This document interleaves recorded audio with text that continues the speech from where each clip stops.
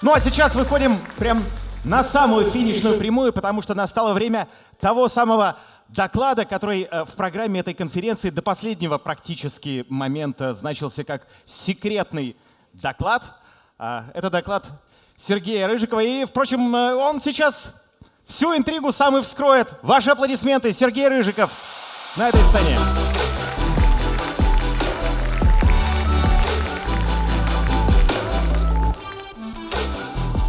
Вечер. Вообще удивительный, конечно, день. Прям замечательный, столько эмоций. Спасибо всем, кто и подходил, и говорил, и вообще за все эти встречи, за обсуждения. Доклад интригующий, и вы уже даже увидели название. Вообще, прежде чем начать доклад, меня попросили сказать, что после завершения этого доклада из зала нельзя уходить. Будет сюрприз, и вам объяснят, как его добыть, и он находится я не скажу где. Итак, теперь про доклад. Доклад сложный и практически интимный. И хоть название можно интерпретировать по-разному. Решение бизнес-задач не бизнесовыми методами. Ребята спросили, ты вообще о чем? Можно ведь по-разному понять. Но давайте попробуем сейчас сделать наш маркетинг и вообще все, кто затевали эту конференцию, говорят, у нас все здесь очень про близко, про настоящие, про искренние вещи, поэтому давай, попробуй, расскажи об этом. И давайте попробуем. О чем вообще рассказ? Каждый из нас, и компании, и директора, много внимания и сил уделяют тому, что мы в целом называем блоком HR. То есть есть бизнесовые какие-то функции или бизнесовые цели и задачи, которые мы решаем – Иногда офисы этому помогают, но далеко не всегда. Мы строим в офисах какую-то среду, атмосферу. Мы иногда решаем вопросы, связанные с питанием, с чем бы то ни было еще. И зачастую это не имеет прямого отношения к деньгам или к эффективности решения тех или иных задач. И однажды я делал этот доклад именно в контексте HR, рассуждая, что это больше всего именно про эту историю. Но есть и методы, которые вообще относится точно к доказанным вещам, которые не влияют на прямой бизнес. Никто не доказал, что корпоратив вообще полезен. Ну, с точки зрения продаж. Это чертовски весело, это вообще прекрасно, замечательно, но можно делать всегда по-разному.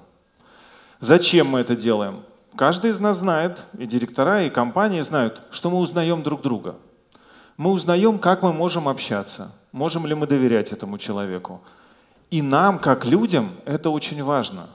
Нам очень важны эмоциональные отношения. И для того, чтобы вместе заниматься бизнесом, нам нужно понимать соседа. Нам нужно понимать его коммуникации, отношения и взаимоотношения вместе с людьми. Несколько историй жизни, которые меня вообще заставили на некоторые вопросы посмотреть по-другому. Пришла увольняться девушка из отдела поддержки со слезами – клиент нанес травму. Вам кажется, как так возможно? Кстати, ни разу такого не случалось с западными клиентами, но вот с российскими клиентами бывает. Иногда прям как будто бы цель и задача. Ну, не об этом, наверное, речь. И это как раз был тот человек, который в моем понимании очень замотивирован компанией. Она была профессиональна, она была грамотна, она хорошо относилась к компании, и я всячески пытался уговорить ее остаться. Она говорит, нет, категорически я не могу. Ну хорошо, сказал я, я не могу тебя удержать, но давай я хотя бы там, из своих денег оплачу тебе психолога. Ты попробуешь сходить, там, не знаю, месяц, там, 5-6 занятий, и, может быть, сам-то я внутри, конечно, думаю, а вдруг сработает. А, хорошо, она согласилась, сходила, вернулась, говорит, супер, мне очень помогло, но я не вернусь. Я, был, я поздно был. Кстати, после этого у нас появился Алексей Чепрасов. Потому что поддержка, когда любая сложная ситуация, и вы видите, что вас переслали на Алексея, то вы знаете, к нему, в общем, отправляют за решением вопросов.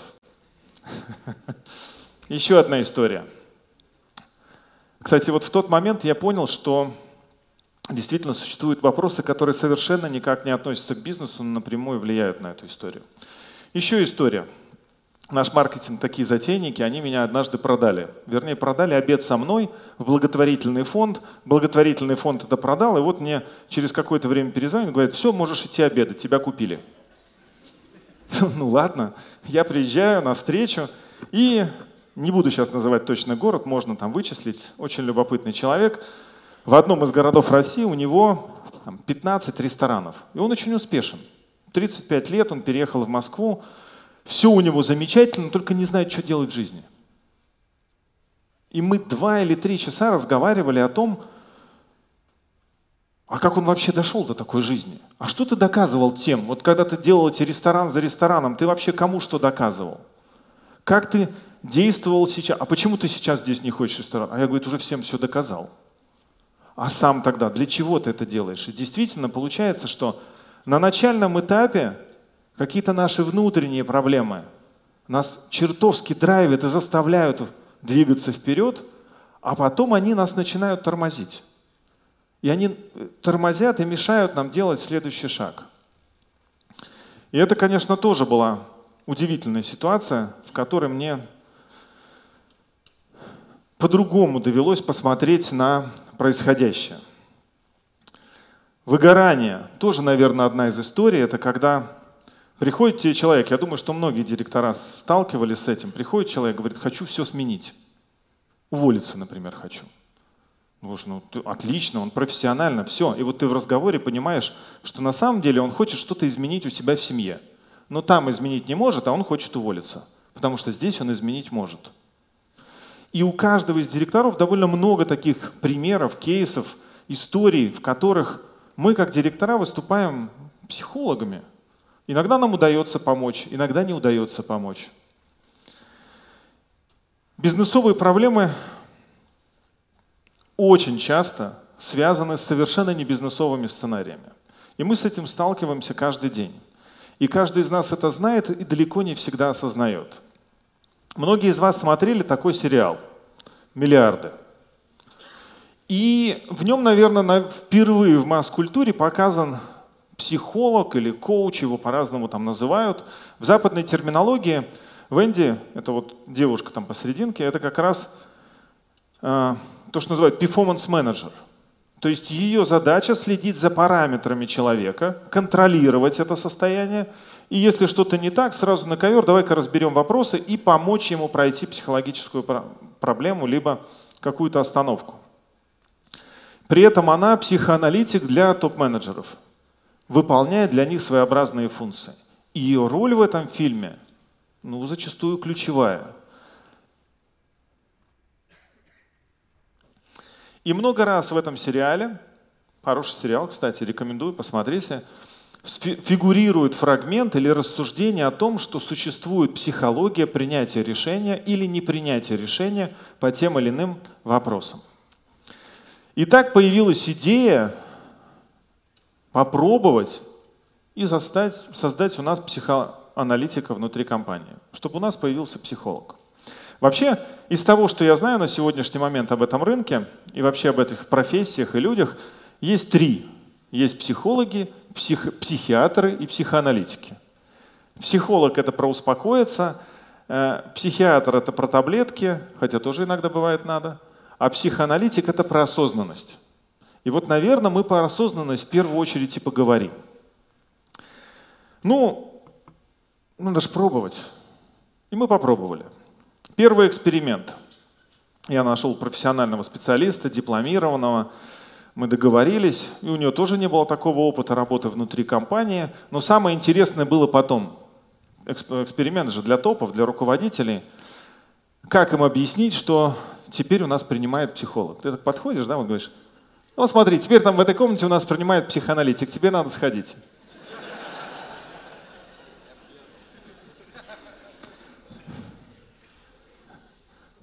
Все мастерство и вообще весь кредит доверия я использовал, чтобы объяснить это так аккуратно и так нежно, и вроде как не удалось. Самые частые вопросы. Как часто ты получаешь отчеты? это все медицинская история. Я говорю, никаких отчетов, это вообще все по-другому, это не так. Объяснили, рассказали, профессия. Ну и, конечно, доверие. И мы попробовали этот эксперимент. И здесь действительно кто-то попробовал, сказал, нет, не мое. Кто-то попробовал и сказал, жизнь изменилась. Но мы еще немножко поговорим потом по итогам. И этот эксперимент оказался удивительно интересным. И он оказался очень полезным. Следующий эксперимент был связан с этим же специалистом, с курсом лекций внутри компании, которые были посвящены совершенно не бизнесовым вопросам. Курс развития психики детей. Один из самых интересных. Приходили женами, с мужьями, слушали, мы делали запись, эту запись смотрели. И это одна, лично для меня одна из самых интересных историй понимания детей. Вот у меня там три девочки, и на самом деле я только, считай, уже с младшей начал толком понимать, что у нее внутри происходит. Или один из советов, который там давался, когда дети, например, считают, что игра с ребенком, то есть они считают, что родитель с ним играет и проводит время, когда играют только в его игры. И дается совет. И этот совет осуществил. То есть ты приходишь вечером, говоришь, так, доча, заводишь будильник на 15-30 минут, говорит, он будет бибикать, а сейчас играем во все, что ты захочешь. Она так, серьезно? Да. Тогда ты собака, а я кошка. И понеслась. Реально, счастливее ребенка сложно было поймать. Хоть мороженым об стену. Вот такие простые советы, лекции. Этих лекций было там несколько десятков, и они оказались удивительными. Они очень многим помогли, и после этих лекций люди уже приходили и говорили, спасибо, что у нас появились такие лекции. Спасибо, мне стало намного понятнее взаимоотношения с людьми, с детьми. И мы решили попробовать взять этого специалиста внутрь компании, взять ее в штат, организовать прием два раза в неделю, 6 сеансов по 50 минут. Причем правило э, специалиста, если он компетентный, говорит о том, что мы половину оплачиваем, но специалист говорит, половину должен оплатить сам человек. То есть он, это психологический прием. То есть он должен вытащить эти деньги и отдать. Ну, может, безналом перевести там или как-нибудь. Но он должен расстаться с деньгами. Мы попробовали такой эксперимент, и запись на сегодняшний момент, я даже не знаю, недели, наверное, на две или три. Все расписано, люди пользуются, 80 человек посетили специалиста. А, Алена Орехова, это вот наш специалист, психоаналитик, дипломированный, очень мало сертифицированных специалистов в этой истории. 80 человек, которые воспользовались. Пожалуй, я, наверное, могу точно сказать, что все усилия, которые мы раньше применяли, корпоративы, истории, бесплатное питание, там много всего, ни разу меня так не благодарили.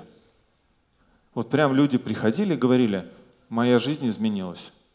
Или ты сохранил нашу семью. Я?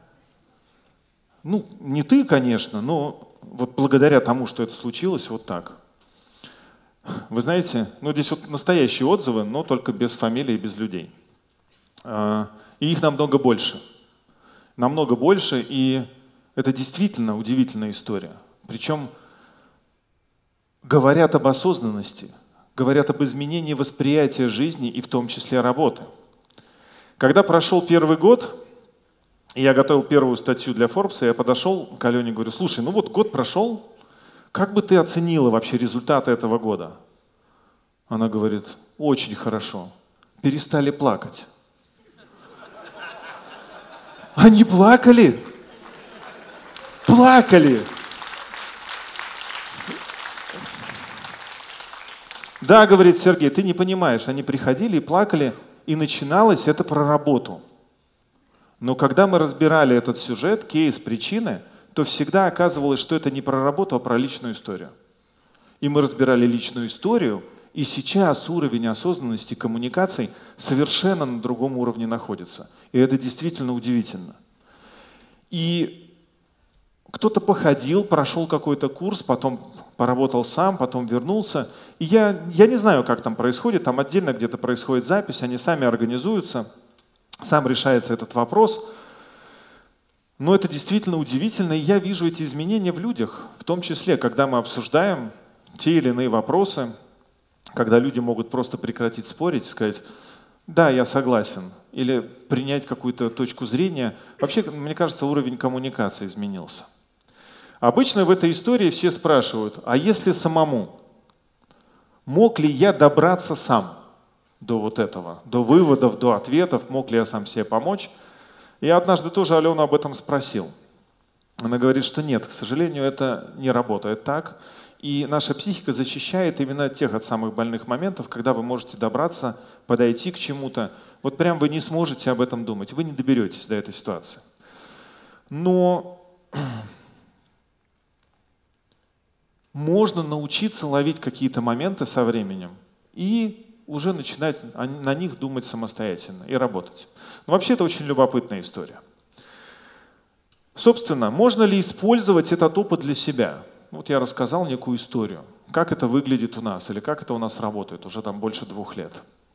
И вообще должен сказать, что ну, существует такая практика, когда я сам и ко мне обращаются, и мы с, рам, с, рам, с самыми разными людьми общаемся о тех или иных вопросах.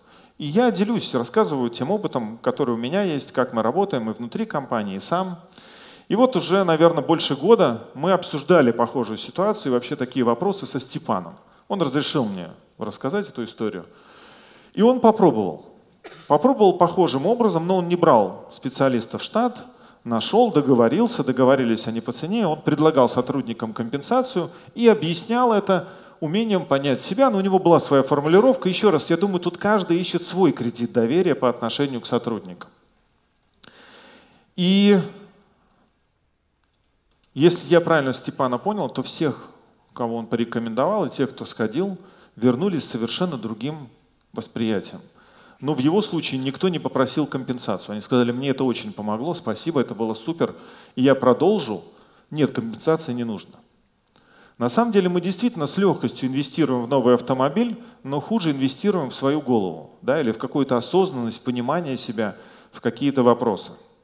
Поэтому вы можете поймать еще раз Степана, и он вам расскажет про свой опыт, скорее всего.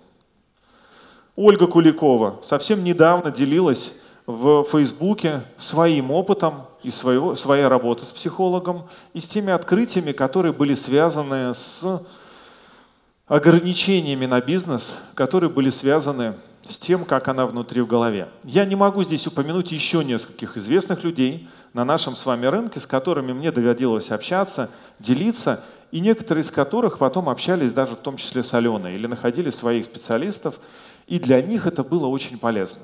В общем, есть такая практика, и она вполне помогает. Так вот, все это на самом деле про осознанность, про понимание своих ограничений, про то, на как мы влияем на людей. И как эти люди внутри компании, чем они мотивируют свои поступки. Действительно ли там всегда рационально, как мы вообще рассуждаем, или по-обычному, как бывает. И, в общем, есть разные пути решения бизнес-вопросов, и когда что-то застревает, я иногда действительно серьезно задумываюсь. Может быть, я торможу в каком-то моменте, существует какая-то причина – и, на мой взгляд, осознанность — это, конечно, тема руководителя. Это тема ну, какого-то взросления, что ли, компании, понимания самих себя. И осознанность открывает путь к взрослению организации и к росту организации, к пониманию того, какие люди нам нужны. Кстати, сильно легче принимать какие-то кадровые вопросы, как нанимать, так и расставаться. И как мы сами влияем на компанию – а это влияние, безусловно, есть. Ну, наверное, вот эту историю мне хотелось рассказать, и в завершении я, наверное, бы завершил следующим образом. Это небольшие фрагменты счастливых людей, которые отмечают те или иные праздники. Так вот, чтобы жить и радоваться, нужно всего две вещи. Первое, нужно жить. А вторая, вы догадались. Сейчас я кликну, и у меня получится. Нужно радоваться. Но вот жизнь — это дар, а радоваться — это осознанный выбор. И я, конечно, искренне желаю вам и радоваться, и жить счастливо. Спасибо и за терпение, за такой необычный доклад. Спасибо большое.